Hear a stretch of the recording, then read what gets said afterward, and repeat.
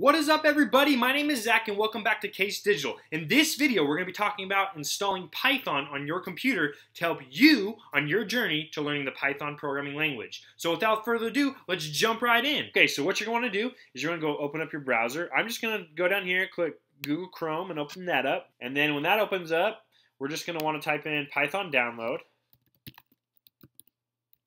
This is the this is how I get there.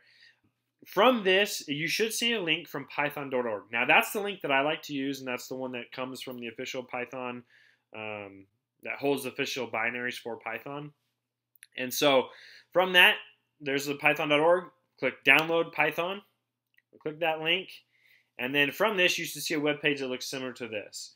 Um, we're going to click this download Python 3.9. And this is the link. Um, this will actually download the package for you. Uh, if you're watching this at a later time, this could say um, 3.91, this could say 4.0, this could say 5.0, but essentially, we're just going to click this button. Also, I want to point out how right here, this shows um, the operating system that I'm using. This web page is detected that I'm using the Mac operating system. If you're using Windows, um, it could show Windows here. If you're using something else, it could show that as well. So click the download Python 3.9 or whatever the version it says for you. Now I'm just going to open up the package here. And when this pops up, it's just going to start the installation process. So we're going to go through this installation process, um, go through the README, license, continue. You're going to have to click um, agree to the license to use it. And just click agree, tell it where you want it to go, and through the hard drive, and then just click install. Now this, uh, well, for Mac, you're gonna have to type your password to get it in. Um, but this may take like a minute or two, um, so we'll just wait until it gets back up, and we'll see you in a minute. Okay, welcome back. So it's still about finished with the installation, but this window just popped up showing where it installed. It installed into our applications folder for Python 3.9. And then in about a second or two, you should see um, you should see a chime if you're on a Mac, and it's telling you that it's complete. Oh, there it is. So it says installation was completed successfully. So you can just go ahead close, um, and you move that package installer to the trash.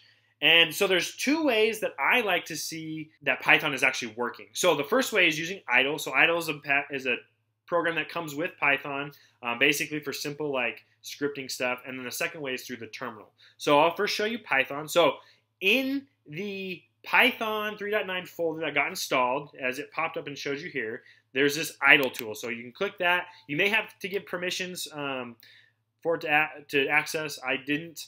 And from here, you can just start using Python. So let's just do addition. So 5 plus 5, 10. Uh, we can do print text. do print hello YouTube. And you can see it says hello YouTube. So basically we can see that the shell, the idle tool, the shell script is working. It says it's from Python 3.9. Now I can go to terminal, so you can go up into your Finder tool, or um, you can just click terminal, click that, and then you can do hit type the command Python. And when you do that, you should see it basically goes into now you're using the same idle shell script inside your actual terminal. Um, and you can do the same things here. So 5 plus 5 should be 10 like it is. And then you can print. You can do hello YouTube. And it should print out hello YouTube. So there you go. We've just got Python installed. And we look forward to seeing you in the next video.